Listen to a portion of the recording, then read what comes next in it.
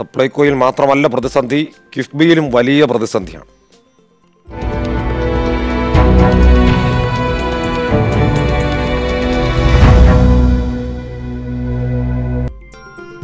എല്ലാ വികസന പ്രശ്നങ്ങൾക്കും ഒരു ഒറ്റമൂലി പരിഹാരം എന്ന നിലയിലാണ് കഴിഞ്ഞ സർക്കാരും ഈ സർക്കാരും ഒക്കെ കിഫ്ബിയെ കിഫ്ബി അവതരിപ്പിച്ചുകൊണ്ടിരുന്നത്. പക്ഷേ ഇപ്പോൾ അത്തരം വർത്തമാനങ്ങൾ അധികം കേൾക്കാനില്ല. കിഫ്ബി പ്രതിസന്ധിയിലാണ്. കിഫ്ബിയിൽ പ്രതീക്ഷ അർപ്പിച്ച് തുടക്കമിട്ട നിരവധി പദ്ധതികൾ ഫണ്ട് അനുവദിക്കാത്തതിനെ തുടർന്ന് മുടങ്ങിക്കിടക്കുകയാണ്. കോഴിക്കോട് വടകരയിൽ മിനി സിവിൽ സ്റ്റേഷൻ നിർമ്മാണത്തിനായി ഇരുപത്തിയെട്ട് കോടി രൂപ വകയിരുത്തി രണ്ട് വർഷമായിട്ടും കിഫ്ബി പണം അനുവദിച്ചിട്ടില്ല.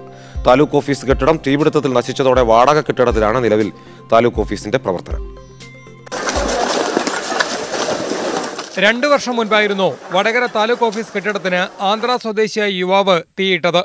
കെട്ടിടത്തിന്റെ മുക്കാൽ ഭാഗവും ഫയലുകളിലേറെയും കത്തി നശിച്ചു.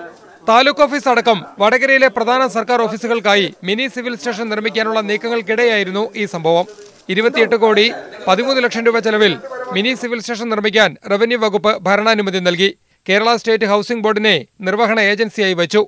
ഹൗസിംഗ് ബോർഡ് വിശദമായ പദ്ധതി രേഖ ഉൾപ്പെടെ സമർപ്പിച്ചു. രണ്ടായിരത്തി ഇരുപത്തിരണ്ട് ഏപ്രിൽ ഇരുപത്തിയൊന്നിന് റവന്യൂ മന്ത്രി കെ രാജൻ കെട്ടിടത്തിന് തറക്കല്ലിടുകയും ചെയ്തു. എന്നാൽ വർഷം രണ്ട് കഴിഞ്ഞിട്ടും കിഫ്ബി പണം അനുവദിച്ചിട്ടില്ല.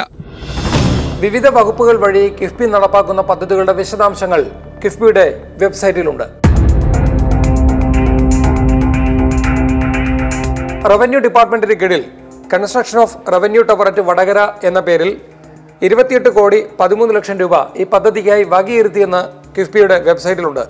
എന്നാൽ ഇതുവരെയും ഈ പദ്ധതിയിലേക്ക് ഒരു രൂപ പോലും അനുവദിച്ചിട്ടില്ല എന്നതിനും ഈ വെബ്സൈറ്റ് തന്നെ സാക്ഷ്യം. അങ്ങനെ മിനി സിവിൽ സ്റ്റേഷൻ കെട്ടിടം വകുപ്പ് മന്ത്രി ഇട്ട തറക്കല്ലിൽ തന്നെ ഒതുങ്ങി. താലൂക്ക് ഓഫീസ് നിലവിൽ പ്രവർത്തിക്കുന്നത് അസൗകര്യങ്ങൾ കൊണ്ട് വീർപ്പുമുട്ടുന്ന വാടക കെട്ടിടത്തിൽ. Taluk office sub registrar office sub treasury legal metrology police കൺട്രോളും തുടങ്ങി. വടകരയിലെ പതിനൊന്ന് സർക്കാർ ഓഫീസുകളാണ് മിനി സിവിൽ സ്റ്റേഷൻ യാഥാർത്ഥ്യമാകുന്നതും കാത്തിരിക്കുന്നത്. ഇത് വടകരയിലെ മാത്രം സ്ഥിതിയല്ല. വിവിധ ജില്ലകളിലായി കിഫ്ബി വഴി നിർമ്മാണം നടത്തുമെന്ന് പ്രഖ്യാപിച്ച പല പദ്ധതികളും സമാനമായ രീതിയിൽ ഫയലിൽ ഉറങ്ങുകയോ തറക്കല്ലിൽ അവശേഷിക്കുകയോ ചെയ്യുന്നുണ്ട്. ഒരു വർക്ക് എക്സിക്യൂട്ട് ചെയ്യുന്നതിന് വിവിധ വകുപ്പുകളെ സംബന്ധിച്ച് ഒരു പ്രോട്ടോകോൾ. ഒരു പ്രോട്ടോകോൾ ഇതുവരെ ലേ ചെയ്യാൻ സാധിച്ചിട്ടില്ല.